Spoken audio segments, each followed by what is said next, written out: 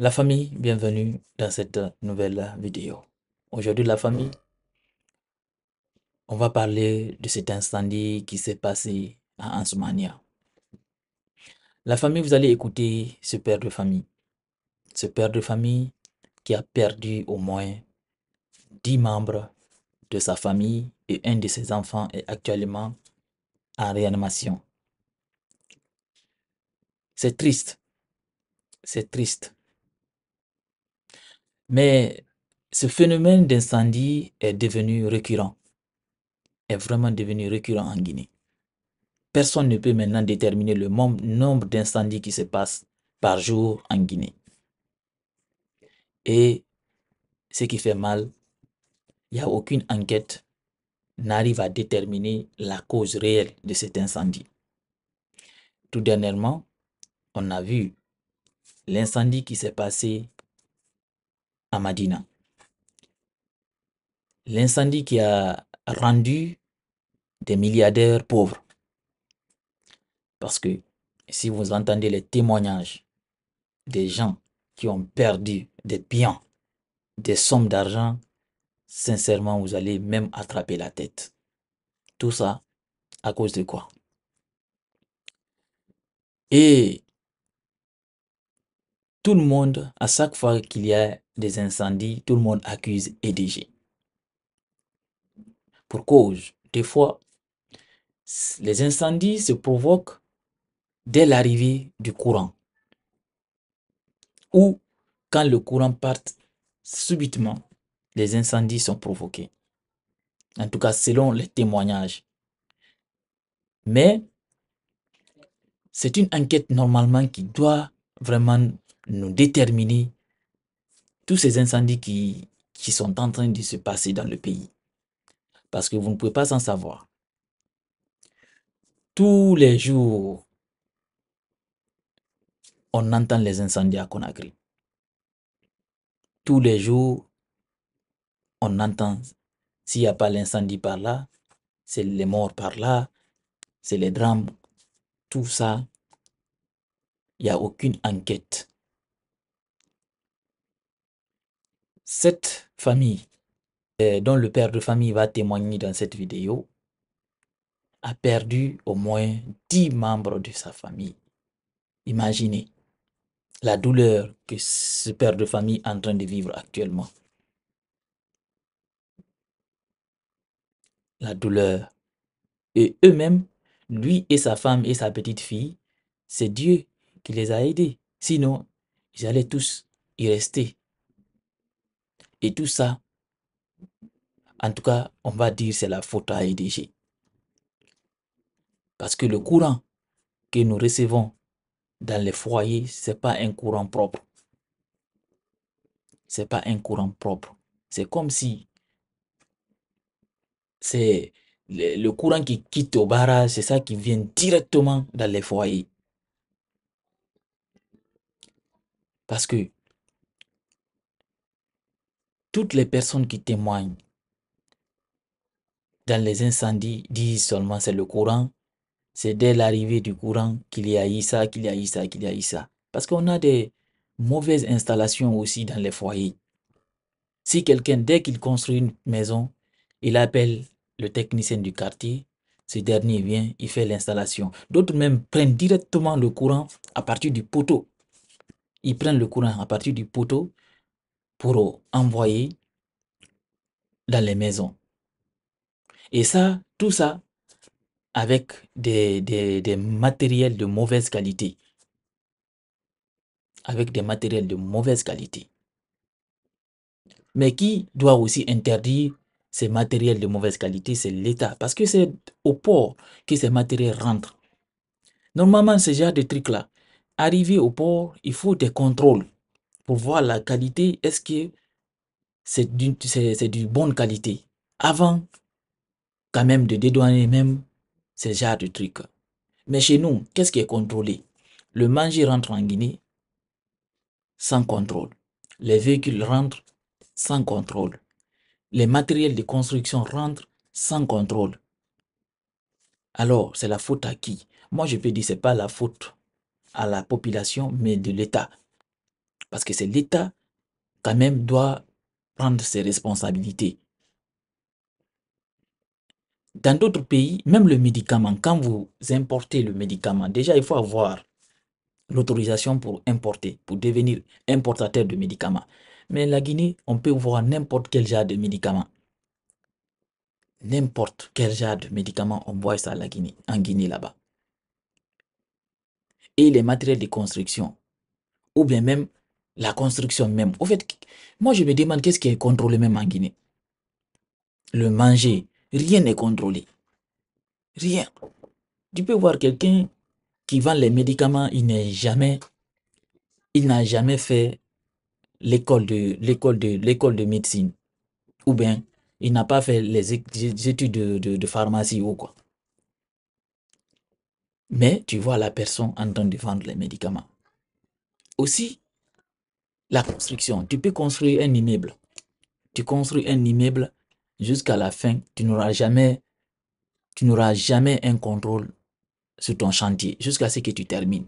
Soit tu, construis un étage ou bien, ou bien une villa. Tu vas terminer la construction sans que un membre de l'État vienne voir la qualité des matériaux que vous êtes en train d'utiliser. Tout dernièrement, on a vu l'immeuble de l'État, les maisons sociaux que l'État était en train de construire. On a vu ça. Il y a eu, y a eu euh, l'effondrement quand on est en train de construire. Mais est-ce que vous avez, vous avez entendu une fois le résultat des enquêtes? Jamais. Ils vont jamais faire des enquêtes. Alors la famille, c'est difficile c'est insupportable de voir ce père de famille qui a perdu toute sa famille dans cet incendie. Alors je vous invite à l'écouter. Il va témoigner, nous dire comment les choses se sont passées. N'oubliez pas surtout de liker la vidéo, la partager au maximum. Pour la première fois, j'ai menti à mon propre fils. Je l'ai menti. Je lui ai dit qu'ils sont, ils sont en train de dormir. Il était, déjà sur ma poitrine. Pour la première fois, j'ai menti à moi, à mon enfant. J'ai menti. Alors, où sont mes frères? Non, Ils sont là, ils sont en train de dormir. C'est pour toi que je m'inquiète. Alors, ok, ça va. Demain, prends courage. C'est toi qui m'inquiète. Laissez, ça va aller. Alors, ok, papa. C'est couché sur ma patrie. On l'a envoyé à l'hôpital. Et celui-là est mon libre. Et mes enfants, toute ma famille opérée. Voilà en quelques mots. Oui. Là-bas, il y a un petit couloir où il y a installé mon, mon bureau et mes paires de chaussures. Voilà le salon qui est là. Voilà la chambre de, mes enfants. La chambre. Donc le feu a commencé ici, et au salon. Le salon était inaccessible. Les enfants aussi, ils ont cassé les portières, le vitre de la chambre pour accéder sur la véranda. Il n'y avait aucun passage. Donc ils sont tous allés se réfugier dans la douche. C'est là-bas que j'ai trouvé la mort. Je suis rentré dans ma chambre. Ceux qui ne dormaient pas là m'ont accueilli. Ils m'ont salué comme à, accoutumé. Tout le monde m'appelle. Assalamu alaikum, assalamu alaikum. C'est comme ça, c'est ce qu'on échange. Hier, euh, après, je suis rentré dans ma chambre. les, les, les, les, femmes qui sont décédées là, je leur ai dit de partir me chercher quelque chose à manger. Ils sont partis au restaurant. Ils m'ont envoyé, j'ai mangé. Il y a mon avant-dernier garçon, Ousmane, euh, qui a ses 4 ans là, qui a aussi succombé dedans. Il jouait avec le téléphone euh, dans ma chambre. Et quand j'ai, fini de me laver, je dis Ah, Ousmane, là, oui, non, mais il est 22h passé, il est 23h moins. Sa maman m'a dit Ah non, non, elle vient de se réveiller. Non, mais cela n'empêche. Elle doit aller se reposer. Ousmane va, euh, va te coucher. Demain, demain matin, je te prête le téléphone parce qu'il tient, il, il tient trop à, au téléphone. Des jeux qui sont dedans. Il dit Ok, papa, il est parti jusqu'à la porte. Il s'est tourné, il dit Ah, papa, non, oui, non, assalamu alaikum wa rahmatullahi. J'ai répondu Wa alaikum salam wa rahmatullahi. Après, il a tourné il m'a regardé, il dit Papa, au revoir. Hein? Ok. Après, il est, il est parti se coucher. Et moi j'ai fait, moi j'ai fait mes ablutions, je suis rentré, je me suis couché dans le. Dans le lit. Et ce n'est que vers 1h du matin, ma femme me réveille. Voilà, papa, papa, papa, il a oui. Là, ça ne va pas. Hein. Regarde ici, il y a le feu. quand je me suis réveillé, parce que le disjoncteur se trouve au, chevet de mon lit, j'ai coupé le disjoncteur. Je voudrais ouvrir la porte pour accéder au salon, parce que pour accéder à la chambre de mes enfants, il faut traverser le salon. Ils sont aux chambres opposées. Donc quand j'ai ouvert euh, le salon, le feu avait totalement envahi le salon. Totalement. Je me suis arrêté à la porte. J'ai appelé ma, ma belle-sœur. Naradija, oui. lève-toi. Il faut chercher à sauver, à sauver tes, enfants. Mais pour sortir, j'ai appelé les jeunes, les grands garçons qui passent dans la chambre. Ils sont venus casser la porte du salon. Mais pour, pour accéder à leur chambre, il faut traverser le salon. Il n'y a pas de issue. Après, j'ai appelé mon voisin Fadiga, mon voisin d'en face. Et les jeunes qui sont, sont là, là, ont appelé les, voisins. Ils sont venus nous secourir. Euh, mon bébé, madame et moi, ils ont, ils ont, cassé, ils ont cassé la fenêtre. Nous sommes sortis par les, par les perceurs, nous trois. Mon bébé de un an, ma femme et moi, nous sommes sortis en premier lieu. Après, ils sont venus casser le mur, mais dans la chambre, la fumée avait complètement pris. Le salon, quand même, il y, avait le feu, on ne peut pas y pénétrer. Donc, tous ces enfants, tous ces 10 là sont partis se refuser dans la douche. C'est là-bas où tous les 10 là ont trouvé la mort. On a repêché, quand ils ont cassé, le petit qui était à la fenêtre, mon garçon, il est à l'hôpital régional de Anta en réanimation. Quand je quittais à 5h du matin pour rejoindre les autres membres de la famille, il vivait j'ai communiqué avec lui. Quand on le sortait, il était complètement évanoui. Mais quand on l'a appelé, quand on l'a envoyé vers 3h, 4h, d'ici que je le quitte à 5h du matin, j'ai communiqué avec lui. Il dit jamais il répond. Champion, oui, ça va. Ah, papa, j'ai mal. Non, oui, oui, je sais. Et le premier coup, dès que je l'ai appris, il dit Papa, non, oui, Anna, où, euh, où sont les Jacarias